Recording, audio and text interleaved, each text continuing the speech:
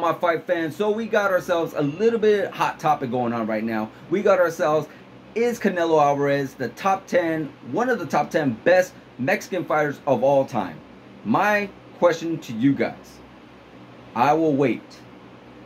Well, you know what? Let me give you an answer for myself. I say yes.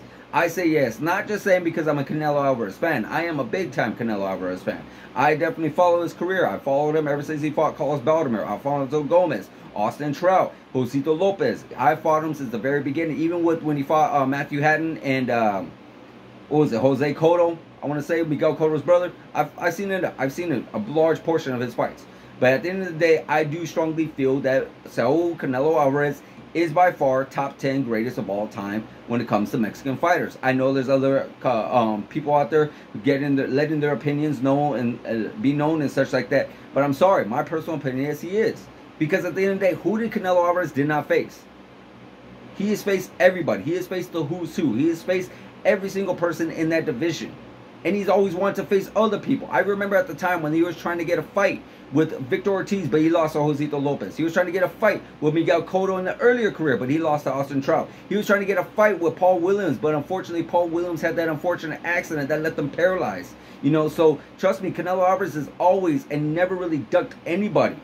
And I say never really because I know there's all this controversial about Triple G and how he made him wait after the third fight or for that third fight. But at the end of the day, he still fought him. He still fought him in that first fight. Maybe it wasn't as soon as we all wanted it to be, but it's definitely it still was there. It was relatively there because at the end of the day, Triple G wasn't a big superstar at that time. You know, when the earlier times when we wanted him to go out there, when he first won that middleweight championship of the world against Miguel Cotto, we wanted him right then and there to go against Triple G. I'm sorry, but Triple G wasn't that big mega star. He definitely was building up some interest, but he really wasn't that super big star just yet. And Canelo Alvarez was starting to fill out into a more of a middleweight. He was taking that little by little, uh, taking it slowly. You don't want to just go in there to the start, start swimming in the deep end when you haven't really began swimming in that little area that you were in. You haven't really, you haven't really felt that division just yet. You know, at the end of the day, yeah, I get it. Miguel Cotto was a smaller middleweight, but at the end of the day, he still went up there and he did his thing. And it took a little time to do it, but it still happened. And he did it twice. And he did it a third time. Did he make him wait a third time? Absolutely. Absolutely. But here's the thing I want to ask you guys, and here's the thing I want to tell you guys. Name one fighter that has never ever made some other fighter wait. Name one. I promise you. All your favorites, all the goats, all the pound for pound best. Muhammad Ali, Sugar Ray Leonard, Sugar Ray Robertson, Manny Pacquiao, Floyd Mayweather, Oscar De La Hoya, Bernard Hopkins, Roy Jones. Every single person has made some fighter wait at one time or another.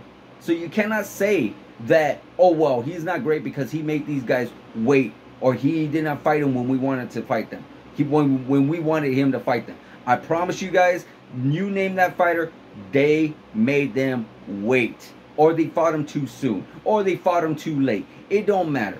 if You don't, I promise you, do not give me a list. Do not give me a fighter. And I promise you, all of them did not fight anybody at the perfect time. And then sometimes it wasn't because they didn't want to. It was because maybe that's the way things lined it up. Maybe it was because things just happened to be that way. Maybe because this person lost or this person won, or may, it just there's always some unusual circumstances that makes these fighters um not fight each other at the right time at the right place.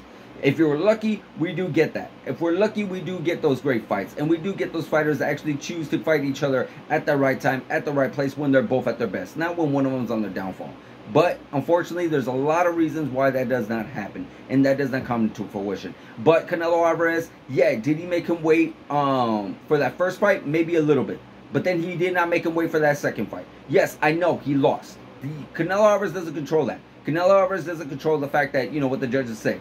At the end of the day, he, that he did his job. He went and did his thing. That's that's his job. He went in there to fight. Whatever the judges say and make happen, that's their problem. But Canelo Alvarez went in for a rematch. He could have said, hey, you know what? That's cool. I'm good with a draw. But no, he went in there for a rematch. Now, a lot of people say he felt like he lost, but then a lot of people felt like he won. I felt like he won. Absolutely, 100%. And then a lot of people say that, oh, well, he gave a lackluster performance against Triple G the third fight. He should have knocked him out. I'm sorry, guys. But there's no other fighter out there in the world that's been able to even drop Triple G. There's no other fighter out there in the world that's been able to hurt Triple G. Triple G is just that kind of fighter. There's fighters out there that are just that really, that are just that difficult to beat.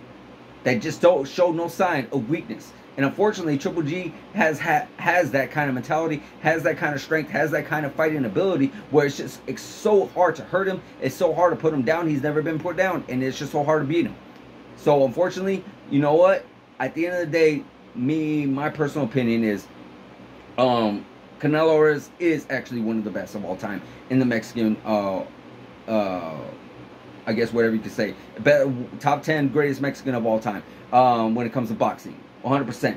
Top 10, uh, maybe I want to say probably even put him five. Of course, we all know number one, Julio Cesar Chavez, 100%. 100%, you cannot deny that guy. Cannot deny him 100%.